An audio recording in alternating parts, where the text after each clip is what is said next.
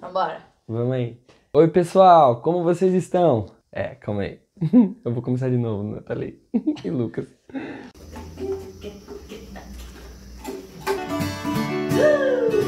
Oi pessoal, tudo bem? Seja bem-vindo a mais um vídeo do canal Glórias de, de Maria. Eu sou a Nádia. E eu sou o Diogo. Nós somos casadas há 5 anos. Temos três filhos. Um que mora com o Papai do Céu, que nós perdemos, né? Quando No estava comecinho da gestação. no comecinho da gestação, gravidade de um mês. E temos também dois fofuchos, coisa gostosa, que é a Luísa e o João. E muitos já até conheceram, né? Em outro vídeo, aqui também do canal. Nosso clipe Consagrado Sou. E nós convidamos vocês a se inscreverem no nosso canal, ativar o sininho. Se inscrevem no nosso canal, ativa o sininho de notificações que sempre vai ter novidade e vídeo muito legal para vocês curtirem. Curte, compartilhe e nos ajude a divulgar a devoção à Nossa Senhora. E vamos lá? Roda a Vinheta! E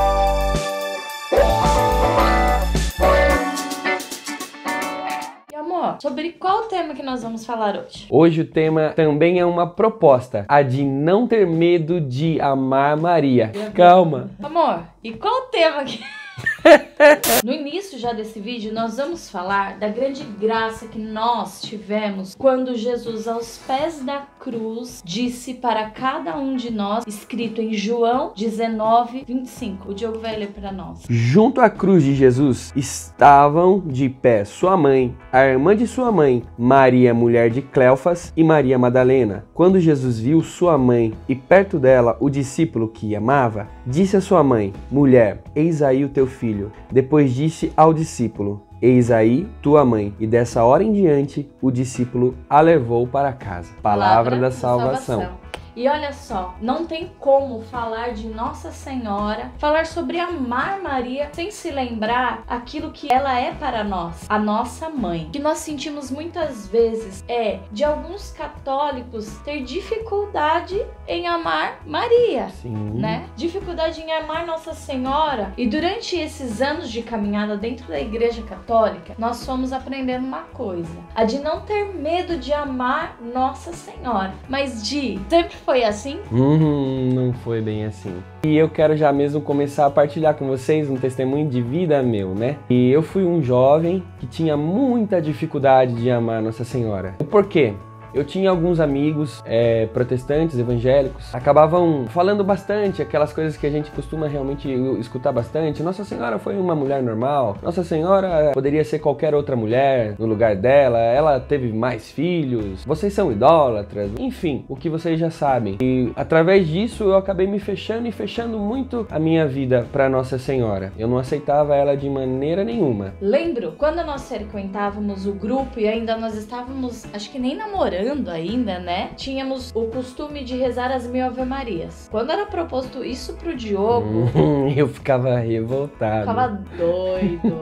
Eu achava desnecessário fazer tanta oração para uma simples mulher. Eu era praticamente um evangélico católico ali infiltrado dentro da igreja católica. Evangélico católico. Realmente era muito perturbador para mim. Eu não gostava de rezar. Eu achava que era desnecessário fazer essas orações repetitivas e que a gente estava cometendo algum tipo de idolatria. E para vocês terem noção de como eu era fechado para Nossa Senhora, eu vou contar para vocês um relato que aconteceu comigo na paróquia Nossa Senhora Aparecida. Em um dia 12 de outubro, a gente foi lá, né, para fazer a coroação de Nossa Senhora. Na verdade, eu estava interessado em passear lá, né, fazer a carreata, aí passeando lá em cima do carro. Só o fervo. Isso, A exatamente. devoção.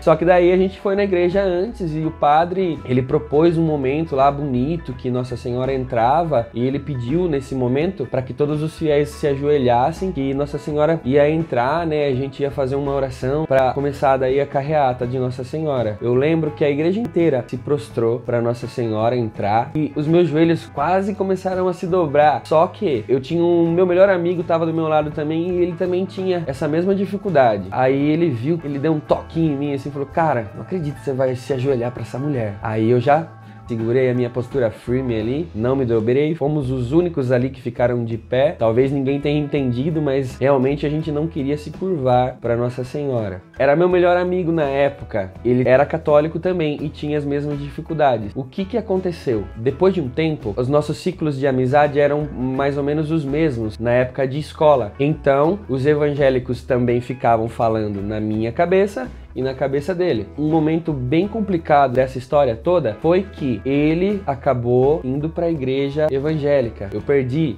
entre aspas, aí o meu melhor amigo que também era católico. A gente tocava junto, né, nas celebrações e missas. A amizade com ele continuou ainda normalmente. A partir daí foi um momento muito difícil. A gente fazia as coisas juntos indo para a igreja e a gente de certa forma se separou. Ele seguiu o rumo dele na igreja onde ele estava indo e eu continuei sendo católico católico, porque eu tinha essa convicção que a Igreja Católica era a Igreja de Jesus. Isso que me sustentava. Através disso, parece que eu comecei a me abrir um pouco mais para Nossa Senhora. E num determinado tempo foi proposto no nosso grupo de oração, entre o Ministério de Música, a gente fazia umas escolinhas assim para estudar um pouco sobre a palavra, para despertar outros dons na gente. Foi proposto que a gente pregasse uns para os outros. E o tema que foi colocado para mim foi Maria, Arca da Alianças.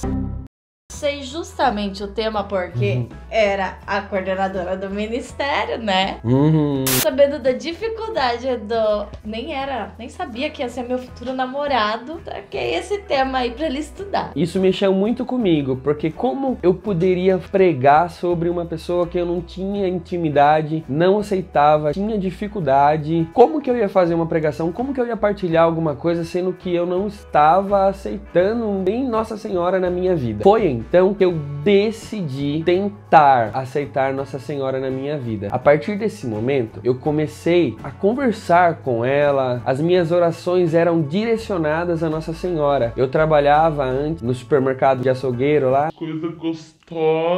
E sempre a gente tinha uma hora e meia de almoço. Era hábito meu comer lá em 20 minutinhos e descer na igreja São João Batista, onde ficava o Santíssimo aberto. E lá eu fazia as minhas orações pessoal. Eu tinha uma escala. Na segunda-feira eu intercedia, na terça-feira eu rezava pelas, pelas minhas, pela minha vida, é, na quarta-feira é um segredinho, mas olha, gente, se vocês tiverem a oportunidade, façam isso que é maravilhoso. Na quarta-feira eu chegava lá, eu fechava o olho no cantinho e eu dormia com Jesus, era uma benção. então eu tinha uma vida de oração muito gostosa. Eu decidi não falar tanto com Jesus por um tempo. Comecei a direcionar as minhas orações a Nossa Senhora e nada acontecia. Foi então que eu fui num evento chamado Tocão na Canção Nova. E lá eu realmente abri o meu coração e o tocão inteiro era voltado para Nossa Senhora. Era a virgindade, era a pureza, a humildade de Nossa Senhora, mas eu ainda não aceitava. E em um determinado momento lá da última pregação da missa, o Padre Roberto Litieri apontava o dedo. Eu falo pessoal da risada, mas era para mim. Apontava o dedo na minha direção. É vergonhoso você católico que não aceita Nossa Senhora como sua mãe, que fica com pensamentos protestantes, deixando-se levar.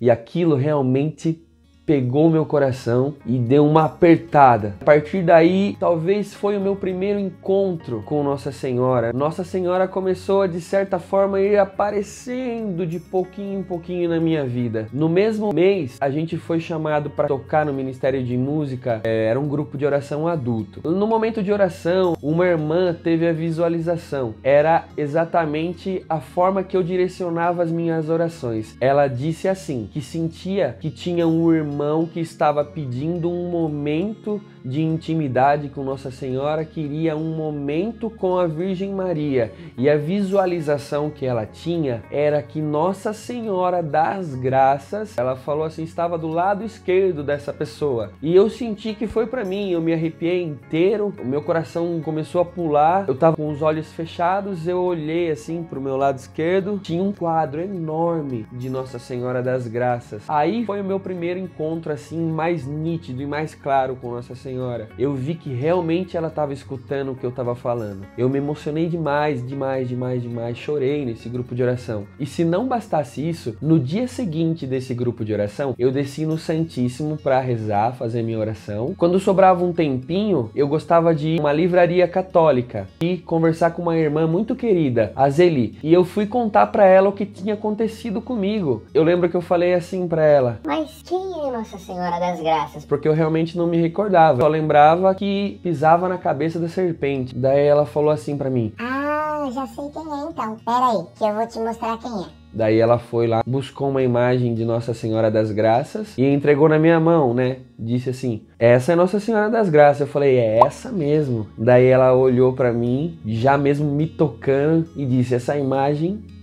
agora é sua. Ela me deu a imagem de Nossa Senhora das Graças, que me acompanhou por muito tempo. No momento que ela me entregou a imagem, eu dei um abraço nela, eu já senti o amor de Nossa Senhora, chorei de novo, foi muito maravilhoso. E a partir daí, o amor por Nossa Senhora só foi crescendo. O medo de amar Nossa Senhora acabou. O amor por Nossa Senhora, a intimidade com Nossa Senhora só foi crescendo. Eu consegui fazer a pregação do ministério dando esse testemunho. Em menos de um mês, Nossa Senhora me deu o momento que eu tanto pedi para ela, mesmo não confiando, ela fez tudo isso na minha vida e o amor por ela só foi aumentando e aumentando e aumentando. Nossa Senhora me deu um namoro santo que começou no dia da Imaculada Conceição. Vivemos um namoro inteiramente entregue nas mãos de Nossa Senhora. Eu constituí uma família que é de Nossa Senhora. Casamos no dia 29, mês aí de Nossa Senhora das Graças. E tem uma coisa que eu costumo falar que foi uma curiosidade que depois eu parei para pensar. Eu faço aniversário no dia 28 de novembro. Dia de Nossa Senhora das Graças é dia 27 de novembro. Talvez seja por isso que eu tenho essa intimidade maior com Nossa Senhora das Graças. Eu costumo dizer que vem primeiro Nossa Senhora na minha vida no dia 27 e depois vem eu. Ah, e eu não posso esquecer de dizer, o meu amigo que virou evangélico, eu nunca desisti de rezar para que ele voltasse para nossa igreja. E eu posso também testemunhar isso para vocês. Hoje ele é novamente católico apostólico romano, para a glória de Deus, pelas mãos da intercessão de Nossa Senhora. Então, meu irmão e minha irmã, a mensagem que eu quero deixar para vocês é que vocês não tenham medo de amar Nossa Senhora.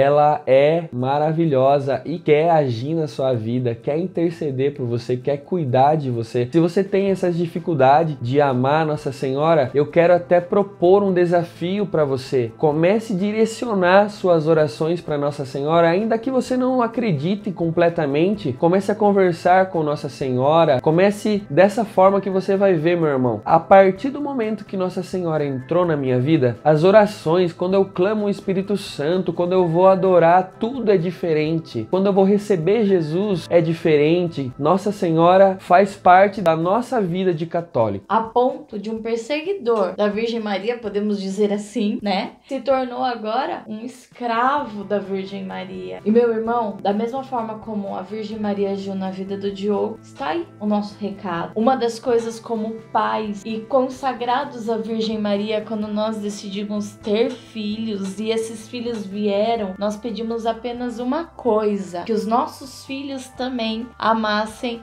a Virgem Maria. E a gente pode testemunhar isso também. A Luísa é apaixonada por Nossa Senhora e o João também. É coisa mais linda do mundo. Eles amam a Virgem Maria. Também fica um recado, já que o Glórias de Maria é um canal voltado para as famílias, é um recado para vocês, pais. Propaguem essas, essa devoção para os seus filhos, que Nossa Senhora seja conhecida também para os seus filhos. E foi com muito carinho que nós gravamos hoje de manhã com as crianças uma música que vem falar mãezinha do céu, não sei rezar. E que através dessa música, você nessa simplicidade mesmo com as crianças, você possa ouvir o apelo. Não tenha medo de amar Maria. Deus abençoe e fiquem com Deus. Um beijo no coração de vocês. Tchau. Até.